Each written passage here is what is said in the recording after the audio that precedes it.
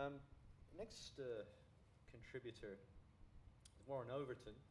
Now, Warren's career started, you will have noticed, if, if there's a word I think to uh, underscore the theme of what we're about this evening, uh, one of the words at least would be diversity, and it's in the careers of these various uh, contributors this evening as much as anything else. Warren's career started in hydrogeology and landform evolution and studying how the climate shapes our landscapes. After moving to Canberra, and I'm not sure if that's why or whether Canberra did it to him or what, Warren worked for several years as a technical manager in the Greenhouse Challenge Office and played a key role in, in the development of the Cities for Climate Protection program. He was the manager of the ANU's Energy and Sustainability Office for three years, where he wrote the ESD, uh, Ecologically Sustainable Development Building Standards for the university. He later established the ACT Office of Energetics, delivering energy audits, technical support for government programs, and assisting clients' implementation of environmental management systems, no less.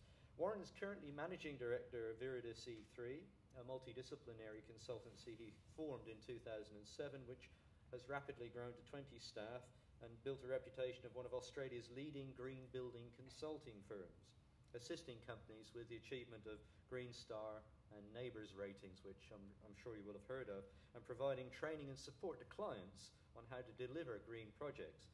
It now is also working on master planning projects and with, with companies striving to integrate sustainability into their operations, which is an essential part of moving towards a sustainable society. Warren's also been active in several community organisations and formed the ACT chapter of Urban Ecology Australia back in 1996. Um, some of these things have been around for a long time, haven't we? Mm. Um, th- this, incidentally, is uh, some of the Viridis people on top of a building in Brisbane. Perhaps Warren would like to explain what they're doing there and what those things are having a holiday. Uh, that's actually uh, Santos Place, a, 30 odd story um, uh, office tower in Brisbane that got a, a six star Green Star rating. But that's actually the, uh, the solar thermal array on the roof of the building, which provides something in the order of about 80% of the, the hot water in the commercial building. So I was just having a bit of a cruise. What, um, what I wanted to talk about tonight was um, Marcy and um, Janice have already covered about a lot of the technical opportunities we have ahead of us, as well as some of the community stuff too. And um, over the last three years in our company, and, and, even before that, and in the same vein as what Marcy was saying, having worked on a lot of individual building projects and seen the technologies and the things you can do to improve your buildings, the key message that's really coming out of it for me is the um, is the human side of it, and um, it comes back to this question about what buildings are for really the most sustainable building is probably the one we don't build um, in the first place. And even thinking about our need for buildings and what really is that need, obviously, shelter. That's the first rudimentary forms of construction we ever did was to protect us from the elements. In doing shelter as well, and the communities that evolved, it was a cooperative exercise. And as we started to cooperate, we can actually start building more and more complex uh, structures to support ourselves as well. This was all about supporting our well-being, our, our building skills, our complexity of our building, and then unfortunately the damage we then inherently did to the environment. With that also came with this greater level of cooperation that we had, and it was striving to achieve a, an amount of well-being as well. If we got to that point of evolution where our societies were so advanced, the, the icing on the cake of our buildings is the culture and art side of it. Um, this is where I'll, I'll slightly disagree with Marcy. I do hope that the buildings that we design can influence people, and in many ways, as well as influencing people, they are a reflection of who we are. Um, as an individual here tonight, your single largest investment ever in your life is probably the purchase of your home or multiple homes as you move along. So, really, it's a pretty serious decision you should make about this house that you buy what does it mean for you as an individual? What does it mean to your community? What is it giving to the community? What is it giving to you as well? What does it mean to you as a, as a human being? And we're probably becoming a little bit divorced from that because, as I said down the bottom, buildings and cities, they're, they're not consumer items. They're sold as consumer items, very much so. So, yes, you can have your three car garage with attached McMansion. Um, if you look at the size of, I'm being moved on. If you look at the size of our buildings, I didn't wave. If we look at the size of our buildings since the 1950s, the size of our buildings has increased enormously, something in the order of two to three hundred percent. Yes, I know that you know obesity is a bit of an issue, but we are not two to three hundred percent larger than what we were in the 1950s. The amount of square meterage we take up is enormous. So you know we've got an appetite for these luxuries, and so if these things are growing, no, now. No? So we need to address that sort of mindset. Um, and yes, we do have the technology. We had it in the 1970s when Steve Austin ran around and did his things. Um, we had it in the 1870s. We had it in the 0070s. The design technologies, the design principles have been around for forever, forever really, because they're natural principles.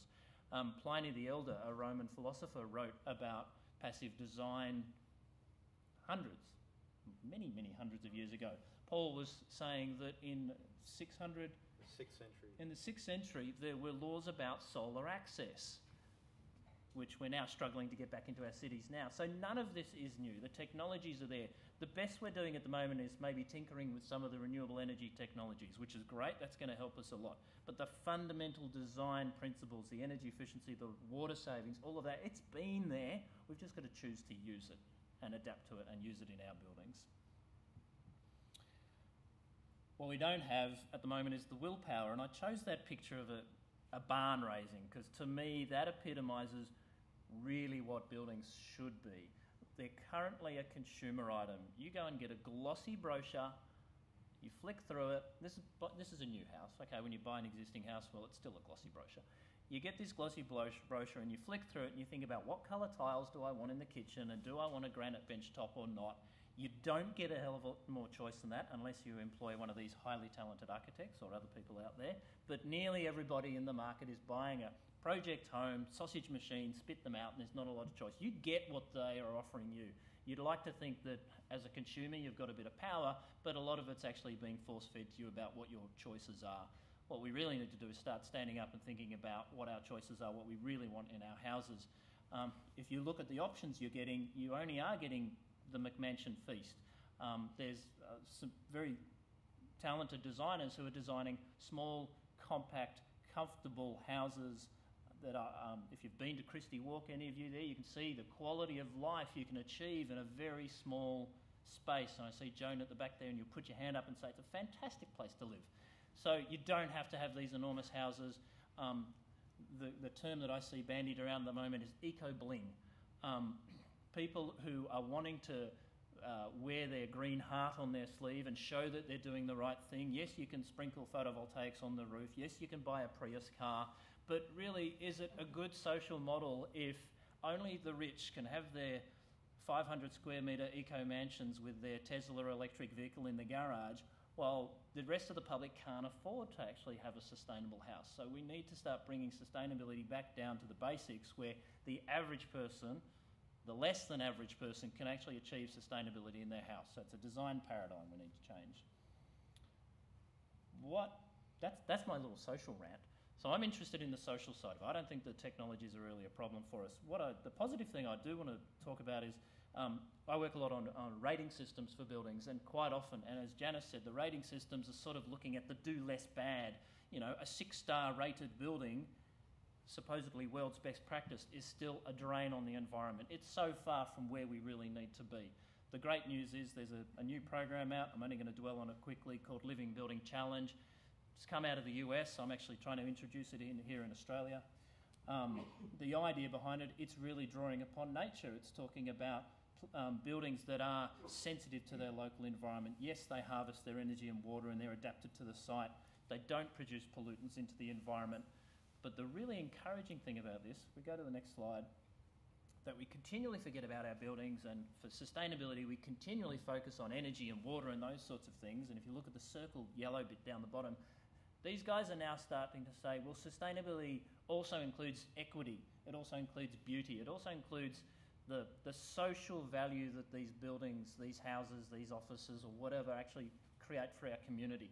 Um, so, my little crusade at the moment is to get people to think about when they want to build a building, truly what it is they're trying to achieve out of it. What does it mean to them as an individual? What does it mean to them as a business? Does it reflect who, who you are? Does it, does it grow you as an individual or an organisation? And does it actually contribute to the sustainability of your local community as well? I think that's my last slide. Thank you very much.